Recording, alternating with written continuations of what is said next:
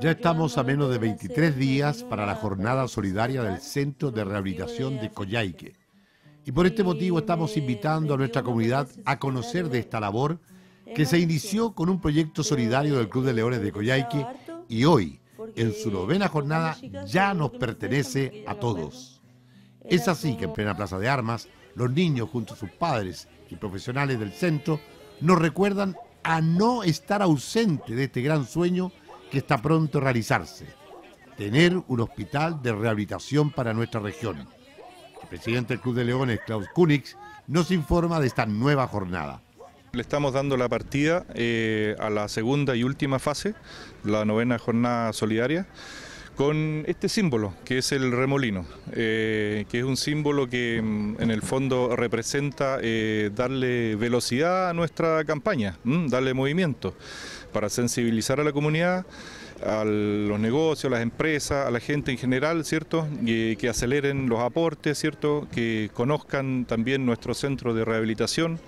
Eh, de nuestros más de 100 niños, ¿cierto? Que son atendidos gratuitamente y que necesitan recursos año a año.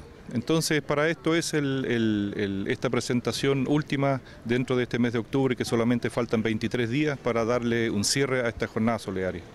Adolfo Quintana, gerente general de Home Center Sodima, en representación de la empresa y de todos sus trabajadores, una vez más dicen presente en esta novena jornada.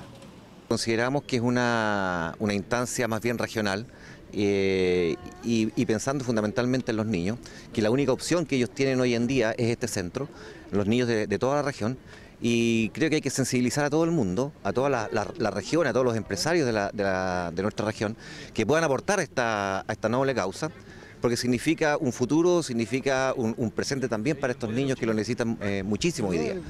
Y la compañía nuestra eh, se siente parte integrante de hace más de 40 años aquí en la región, entonces no podemos estar ausentes de una situación tan especial, tan noble, eh, en, beneficio de los niños.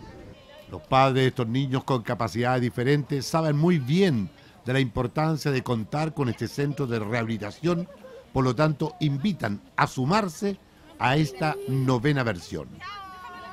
Bueno, el llamado que yo le hago a todas las personas de Coyhaique es que cooperen, porque el centro realmente es un, apoyo para todas las familias que tienen eh, familiares, en este caso hijos, con discapacidades diferentes y el centro necesita el apoyo de todos ustedes para que podamos salir adelante y podamos conseguir más cosas, implementos para el centro, porque uno nadie no, está libre de, de repente de ocupar el centro por algún accidente o algún por alguna enfermedad. ¿El centro es vital en la vida de ustedes? Sí.